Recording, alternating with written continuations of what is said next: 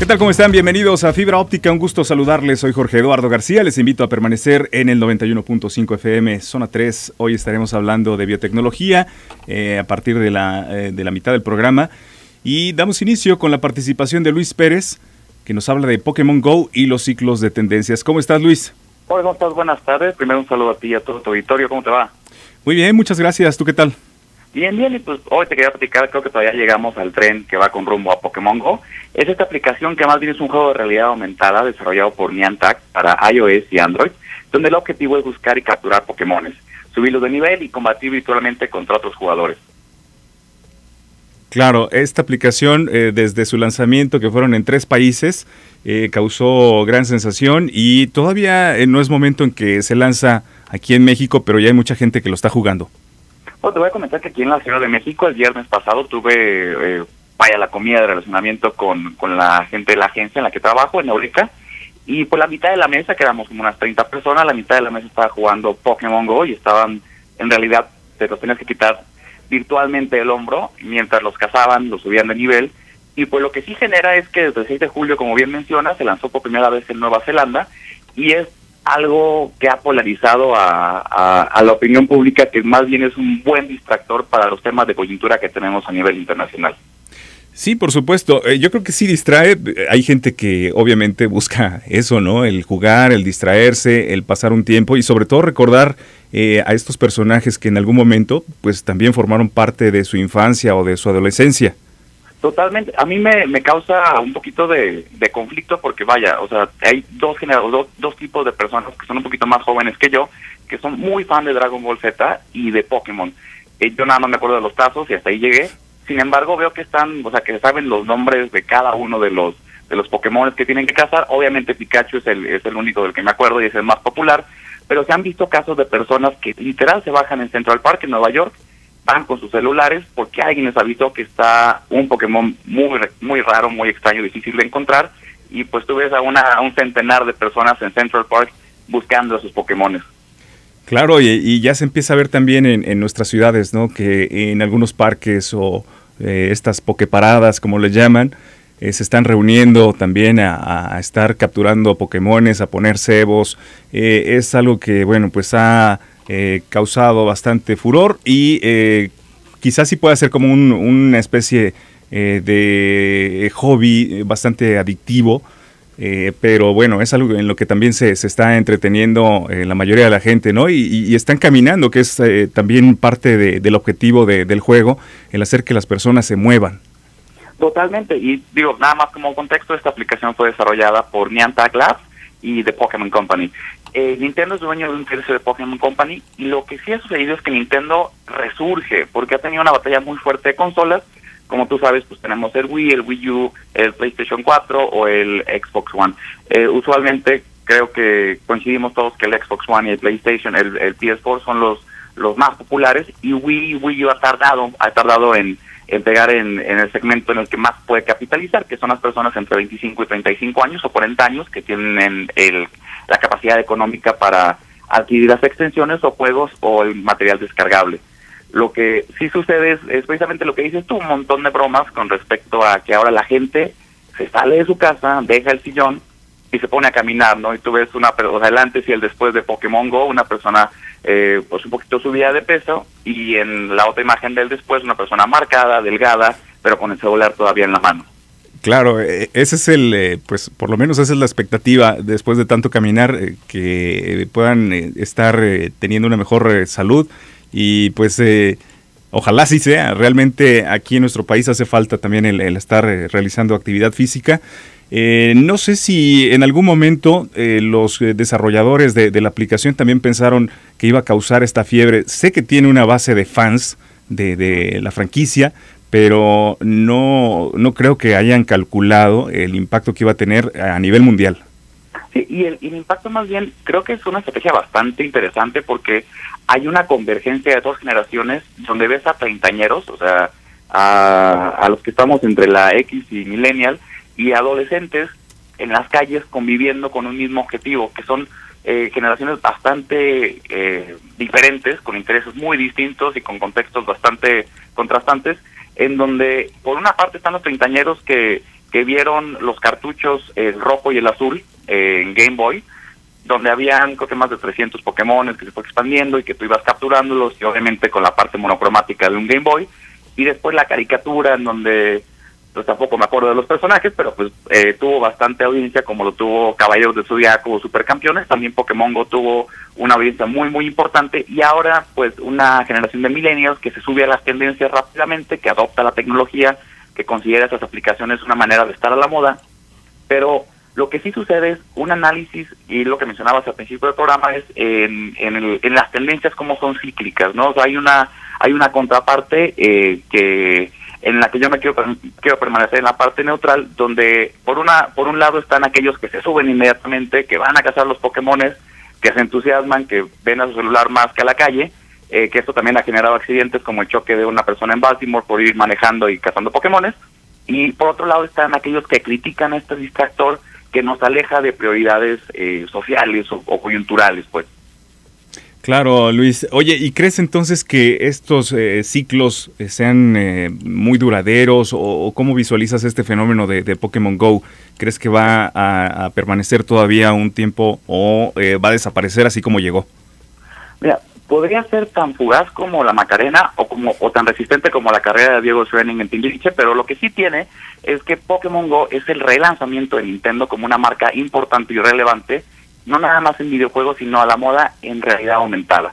Y creo que la realidad aumentada es fundamental para la atención que debe que deben tener las audiencias y que los medios de comunicación deben de prestar un singular interés en cómo poner la realidad aumentada ahí, en no solamente los contenidos audiovisuales o las aplicaciones o, o en tu portal, por ejemplo, en Zona 3, que tú vas y puedes escuchar en vivo radio, sino que haya algo mucho más allá, ¿no? Que yo pueda eh, de repente como un holograma aparecer en tu mesa de en, tu mesa de escucha y, y participar y esa interacción es la que está enganchando a la gente. Creo que más que una tendencia que vaya a desaparecer es la punta de lanza para que otras aplicaciones y otros otros jugadores no solamente en videojuegos creo que podrían innovar y lo veo más por el tema de publicidad. Yo estoy viendo a grandes marcas que van a utilizar un ejemplo de Pokémon Go para posicionar sus productos. Exactamente, sí, ya lo veíamos eh, con una firma de hamburguesas de comida rápida que eh, ya eh, tiene un presupuesto asignado precisamente para que sus restaurantes sea un punto donde se reúnan todos los que están jugando Pokémon Go. Así que esta es la primera, vamos a ver quién más se sume, se, va sumando a esta tendencia.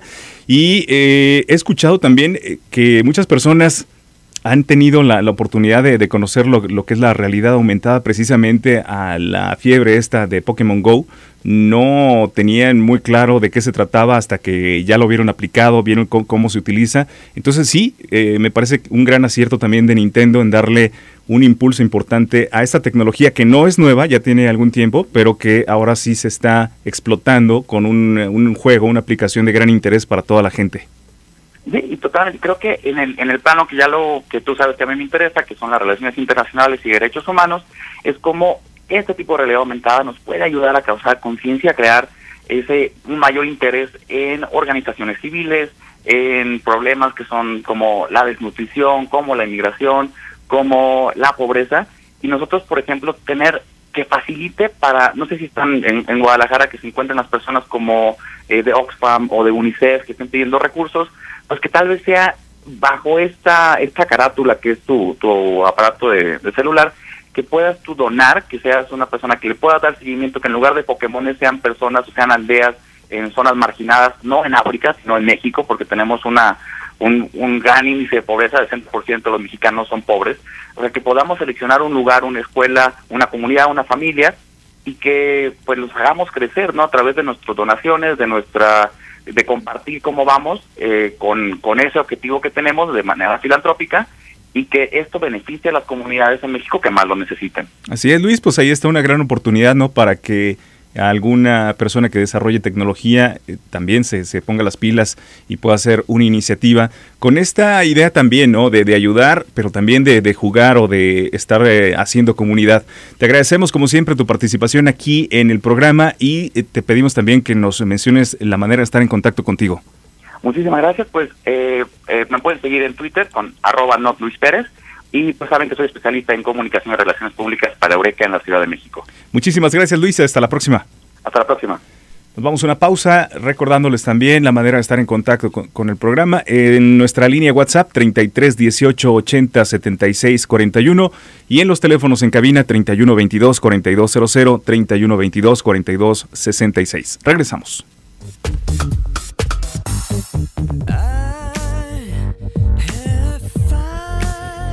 Sí, ya estamos de regreso aquí en Fibra Óptica y vamos a estar hablando de una aplicación llamada MediHome y para esto eh, ya tenemos aquí en cabina a Marisol eh, Valdés eh, como parte de la Dirección General de BizLinker. ¿Cómo estás Marisol? Muy bien, gracias. Muchísimas gracias por habernos invitado a tu programa, Jorge. Y también nos acompaña el doctor Alejandro Martínez Vega, director médico de la aplicación MediHome. ¿Cómo estás? Bien, bien, muchas gracias. Gracias por, por invitarnos igualmente. Oigan, cuéntenme de qué se trata esta aplicación, cómo surgió, eh, qué, fue lo que la motivó al desarrollo. Pues mira, desde, desde que yo salí de la carrera de medicina, he tenido, digamos, un historial de pacientes a domicilio muy grande, desde mis amigos, mis familiares, mis propios pacientes me pedían consultas a domicilio. Entonces, pues te digo, casi casi el eslogan después de una consulta era cualquier cosa me habla, les daba mi tarjeta y tal cual me habla y puedo ir a, su domicilio a, atenderlo. Eso fue de manera natural, ¿no? Eso fue de manera natural como una, como una atención que yo tenía con el paciente. Ahora que, surge, digamos, la, economía bajo demanda y de todas estas apps, este, que lo que hacen es geolocalizarnos y enviar en este caso, en este caso es un médico, pero pues tenemos el caso más famoso, digamos, de, de alguien o de una aplicación que te manda un chofer particular a tu casa. ¿no? Exactamente. E, es, es, algo que, que eh, realmente es fascinante, ¿no? Cómo esta tecnología nos ha permitido el crear nuevos modelos de negocio o hacerlos más eficientes.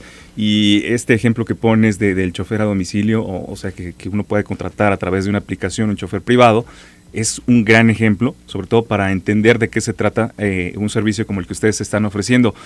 Eh, de esa manera entonces surge y cómo es que la, empiezan a, moldear y a llevar a cabo. Pues mira, a mí se me ocurre la idea, eh, tal cual, basándome en, ese, en ese modelo de negocio, se me ocurre la idea y voy con un amigo, con un muy, muy amigo mío de, toda la vida, a plantearle el, negocio, a ver si le interesaba pero él no, no le interesó, digamos, porque yo no, digamos que no era mi socio ideal, y es cuando me propone a mi socio ideal, que es Juan de Dios Mallorquín. Este, Juan de Dios Mallorquín es una persona muy creativa, le interesa muchísimo la aplicación, le interesa muchísimo el, modelo de negocio, y es cuando, cuando se empieza el desarrollo de Medicom, que es, o sea, con, yo como médico te puedo decir que yo no tenía idea de qué se trataba todo este, este mundo. Sí, digamos que sí soy muy cibernético y que sí me gusta mucho la tecnología, pero no el desarrollo tal cual de una aplicación. Es cuando se empieza todo el desarrollo que es es todo un cuento, ¿no? desde la imagen, desde los colores, de, la experiencia de usuario. la experiencia de usuario, todo, todo ese rollo está estudiado y, se, y y tuvimos bastante tiempo para hacerlo. Exactamente, sí, se resume, cuando uno ve la, aplicación y la descarga, pues parece que todo fue muy sencillo, ¿no? Este, pero simplemente desde diseñar las interfaces, el saber cuántos clics tiene que hacer el usuario, la manera de, registrarse, todo esto que, que, se requiere, bueno, si nos ponemos a pensar, pues sí es mucho trabajo el que está detrás, hay mucha gente también trabajando, eh, pero el objetivo es este, ¿no? El, darle un servicio a la gente y sobre todo que sea muy eficiente. Ahora cuéntanos, vamos entrando ya a lo que es la aplicación. Eh, ¿Qué es lo que tendría que hacer el usuario para poderla utilizar? Pues mira, es una aplicación gratuita. el, nombre es Medic Home con K. Eso es importante. Mucha gente se ha confundido con el nombre. Se le puso Medic Home con K. Entonces es descargar. La aplicación es totalmente gratuita. Tienes que meter tus datos. Este, o sea, la descargas, la instalas. la instalas. Está para, para, las dos plataformas, para, Android, y, para, iOS. La, te registras, es muy importante el registro porque el médico habla, o sea, si tú pides un servicio, el médico habla para confirmar ese servicio. Te está validando los datos. Y aparte, por si es alguna urgencia real en donde se tenga que realmente actuar de otra forma, no nada más como médico.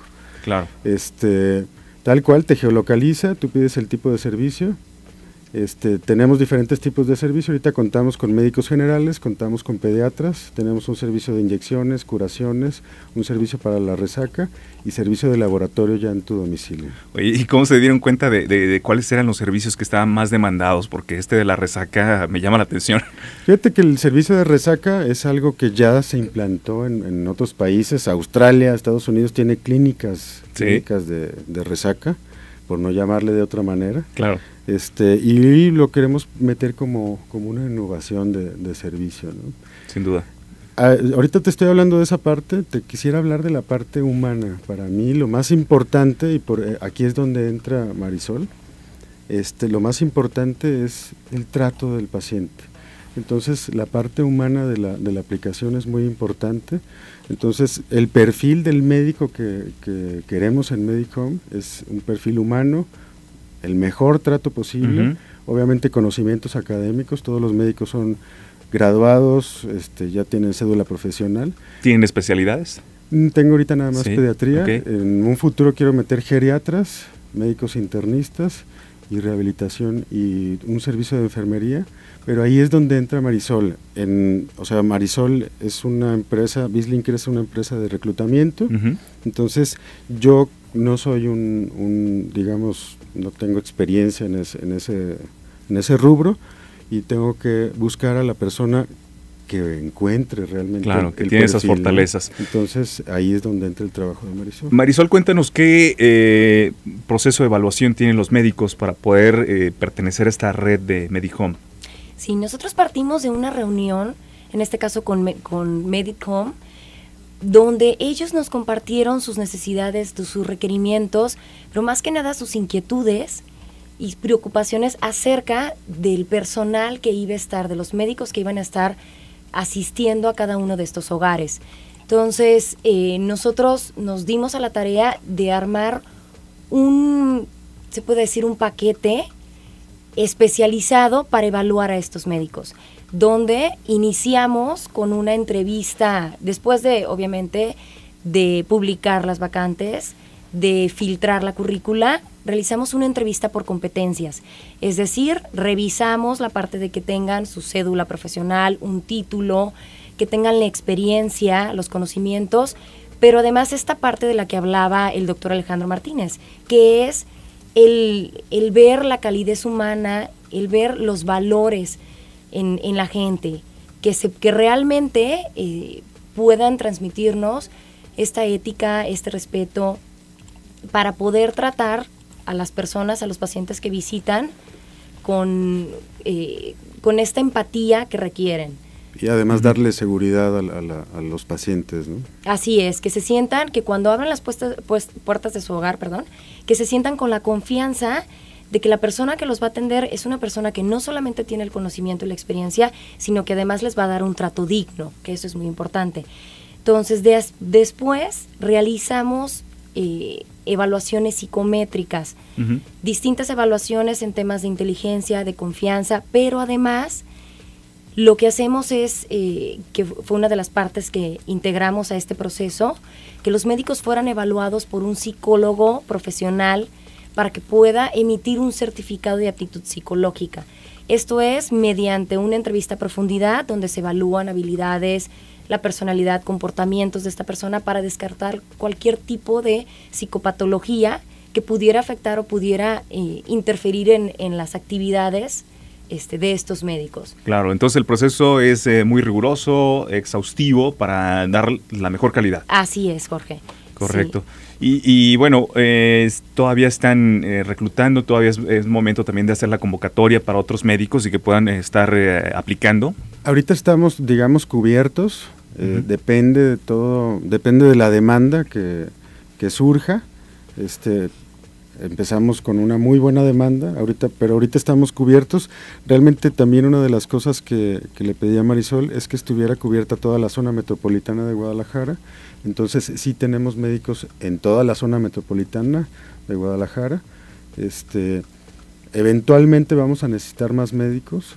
Eh, pero, pero la vacante hasta que, hasta que realmente no los necesitemos, no, no la vamos a abrir hasta, hasta ese tiempo. Claro, la, promesa entonces es que eh, tengan al médico en casa 24 sobre 7. 24 horas al día, 24 horas al día, 7 días a la semana, este, y en media hora. Exacto. En media hora llega a tu casa. Eso es importante, ¿eh? la media hora. Eso, fíjate que eso, eh, generalmente yo empiezo con una pregunta, este tipo de, entrevistas. ¿Cuál fue tu, última experiencia con un médico, por ejemplo?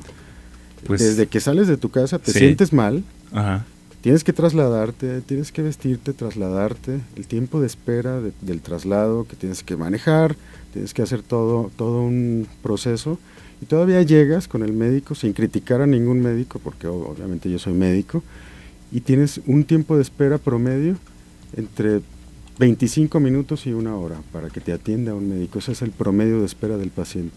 Y entonces eso es lo que estamos tratando de resolver también con la aplicación, tener la conveniencia de que lleguen a tu casa en menos de media hora o media hora máximo y te atiendan en tu casa, en pijama, en tu habitación sin ningún problema. Oye, y una parte importante también es el, eh, la manera de, de pagar. ¿Cómo se realiza? El pago puede ser en efectivo o puede ser en tarjeta de crédito. Este, tenemos una tarifa, digamos, diurna y una tarifa nocturna. Este, y tal cual, tenemos la, libertad de que paguen o en efectivo o con tarjeta de crédito. Eh, muy bien, pues ahí, ahí lo tienen. Eh, se nos agota el tiempo, pero no sé si tienen algo más que comentar al respecto de la aplicación, eh, algo que se nos esté pasando por, por comentar. No, o sea, tal cual es un servicio diseñado para, para atender de la mejor manera posible a, la gente, llegar, de la, llegar lo más rápido posible al domicilio y que la gente esté en la comodidad de su hogar este, atendiéndose. Eh, el servicio, como lo mencionaste Alejandro, ahorita está nada más en, la zona metropolitana de Guadalajara. ¿Tienen planes para... Tenemos proyección de, de, estarnos expandiendo a lugares. Nos interesa mucho la parte turística, en, México, atender los lugares turísticos, Puerto Vallarta, la Riviera Maya, porque abusan muchísimo de, la gente en los lugares turísticos en cuestiones médicas. Entonces, de, con una aplicación lo podemos controlar y podemos controlar el precio, que sea un precio normal, como el, igual al de Guadalajara en Puerto Vallarta o en lugares turísticos. Entonces, sí me interesa mucho la, esa parte. Pues muy bien, les deseamos éxito y eh, yo ya tengo la aplicación, la, voy a empezar a utilizar también para eh, en algún momento pues eh, darle también alguna experiencia a, nuestros amigos del auditorio. Les agradecemos que hayan venido aquí al, programa, les deseamos, como les dije, éxito y ojalá que luego vengan a platicarnos las experiencias que han tenido ya con, con los médicos y creciendo con otros servicios. Muchas gracias a ti, los invito a descargar la app, tal cual es Medic Home con K, Medic con K Home, este, que nos sigan en Facebook y que nos sigan en Twitter. Así, es. Muchísimas gracias, Jorge. Gracias a ustedes, gracias y eh, estaremos en contacto. Gracias. Nos vamos a una pausa, regresamos con más.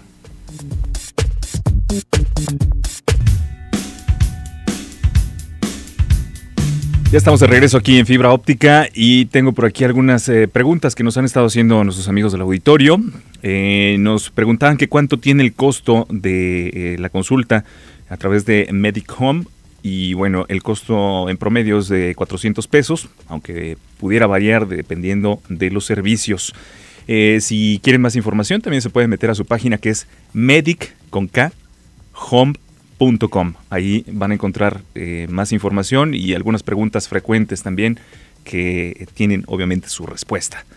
Vamos ahora con la participación de Antonio Cruz, biotecnólogo, que cada semana nos habla precisamente de estos temas extraordinarios y en este caso nos va a estar platicando de biónica y de la historia del doctor Hugh Hare.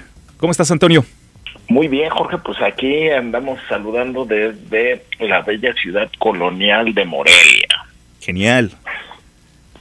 Oye, pues como lo acabas de mencionar, eh, nos habían preguntado la gente que nos hace favor de escribirnos acerca de este científico. Tiene ahí un par de eh, videos muy interesantes de pláticas de TED y bueno, videos de otro eh, inclusive creo que el Discovery Channel y Nat Geo han hecho eh, ya reportajes de él. La verdad es que yo hasta antes que los radioescuchas me hicieran referencia de él, no lo había escuchado, pero es una historia fascinante, ¿no? Dentro de lo que es esta parte que hibridiza la biología con la mecatrónica y algunos eh, sistemas también eh, de tipo eh, eléctrico y neumático, ¿no? Sí. Y fíjate que hoy para hablar de la biónica y, y, para poderlo hacer, Jorge, de la manera más sofisticada, la biónica más avanzada que hoy en día tenemos en los centros de investigación, como lo es el MIT, que es la institución de la cual procede el doctor Herr, eh, nos referiremos a, a, la historia de este doctor que de inicio, desde chiquito, demostró grandes dotes, digo, verdaderamente sorprendentes desde niño para ser un escalador. Nada más para que te des una idea, Jorge, con menos de 10 años ya había escalado paredes de 3.3 kilómetros uh -huh. en eh, montes como las uh, uh, montañas rocosas en Canadá. Ya más o menos cuando tenía 20 años, fue cuando eh, dentro del ranking de los escaladores estaba dentro de los tres mejores en eh, Estados Unidos, que es su tierra natal. Pues resulta ser que en, en 1982, en una de sus travesías, junto con un compañero alpinista de apellido Batzer, después de haber eh, recorrido una serie de rutas, llegó a un área congelada de muy alta dificultad y eh, en una fue alcanzado por una ventisca que hizo que él y su compañero se extraviaran. Se vieron forzados a descender por un glaciar donde pasaron tres noches. De hecho, tarde o temprano van a hacer una película de este señor. A temperaturas menores de, 29, de menos 29 grados centígrados. O sea, imagínate eh, las condiciones bajo las cuales eh, pasaron esas tres noches estos dos alpinistas. Afortunadamente fueron rescatados, pero ya para entonces ambos habían sufrido de severos congelamientos, Jorge, uh -huh. y se los llevan, eh, por cierto, uno de los voluntarios que participa en la en el rescate pierde la vida en una avalancha, ¿eh? Es un pero logran rescatar a, a, los dos, al doctor Herr y a su compañero Patzer. Y ya en el hospital pasan semanas donde los médicos intentan salvarle las piernas.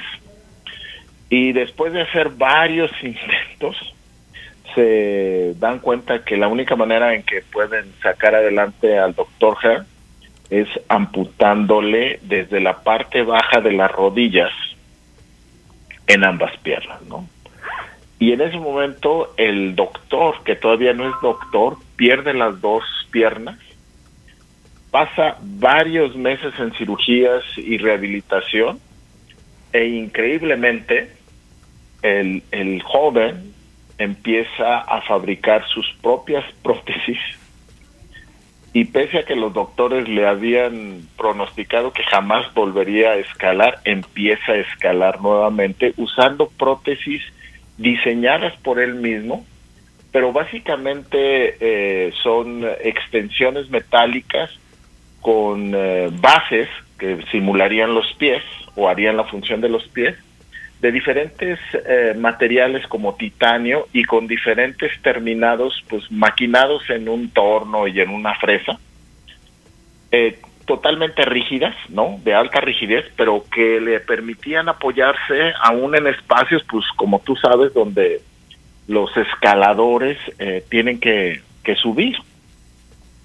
Bueno para que te des una idea el tipo asciende en el ranking, o sea, si ya era uno de los tres mejores, pues se vuelve prácticamente el mejor con las prótesis que él mismo se hace, ¿no?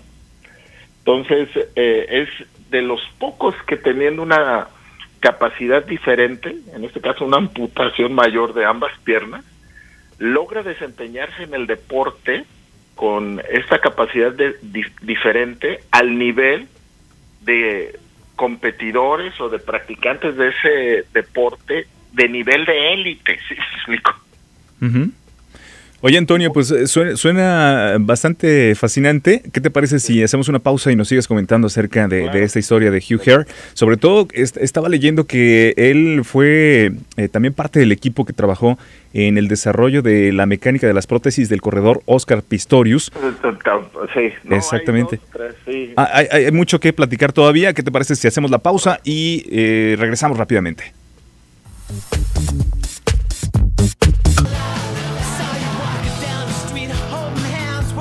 Bien, ya estamos en el último segmento del programa. Seguimos hablando de biónica y también de la historia del doctor Hugh Hare, Antonio Cruz. Así es. Entonces, como bien dices, este Jorge, después de que empieza a ver que él mismo diseña sus eh, prótesis, lo relevante aquí es que entra a estudiar mecatrónica, hace una maestría y un doctorado en el MIT.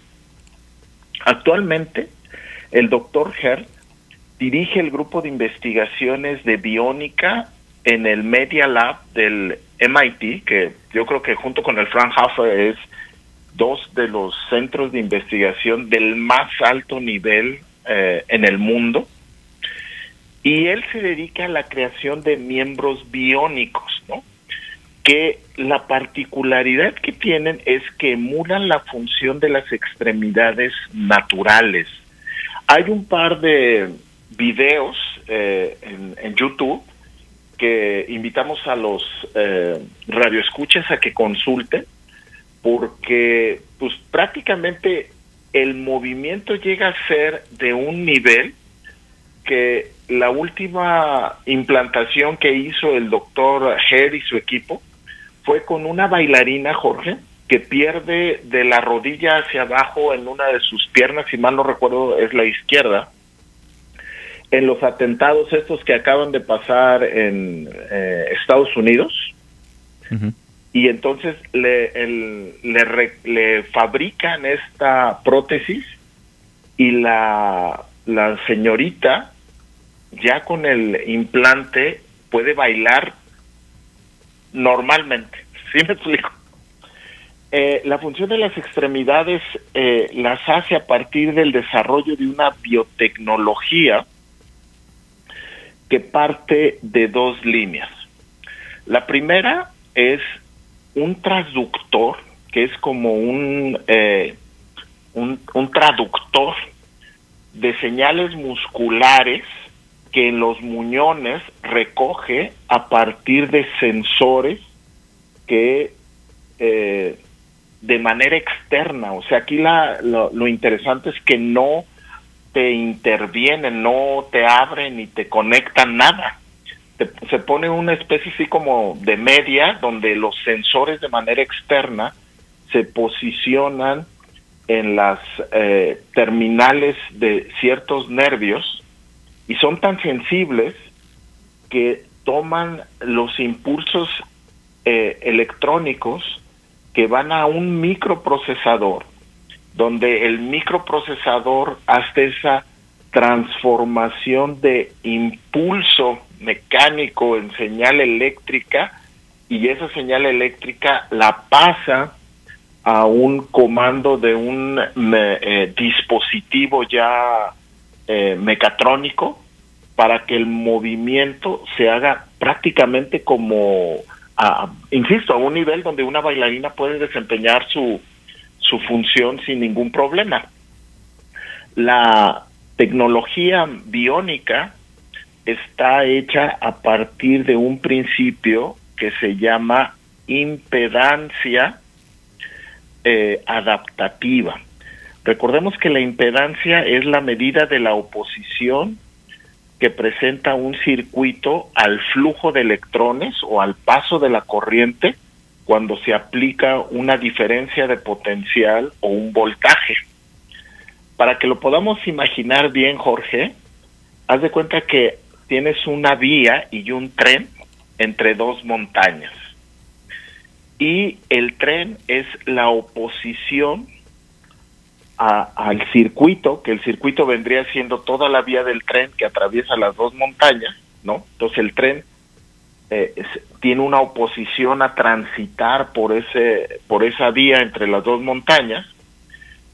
Y el tren dependiendo de la carga que lleve que serían los pasajeros que vendrían representando al flujo de electrones o a la corriente si tiene muchos pasajeros y requiere muchos vagones entonces es un tren pesado pero y, y por, por ende su impedancia es más grande, pero si tienes poquitos pasajeros, requieres menos vagones y tu impedancia es más, leve, eh, más leve. Entonces, haz de cuenta que tuvieras un puente que se ajusta siendo más firme, más fuerte, si la carga es mucha y los pasajeros son varios, o se hace más flexible y suavecito si la carga es poca y los pasajeros son menos. Este fenómeno eh, electrónico, que insisto se llama eh, impedancia adaptativa, se genera a partir de esta señal analógica que produce en tu cuerpo y que no es eh, transferida a los dispositivos mecatrónicos en bases digitales, sino en bases analógicas, o sea, continuas. Y esto permite que haya lo que la tecnología del doctor Herr denomina marcha adaptativa. Y entonces tus movimientos son pues prácticamente totalmente naturales.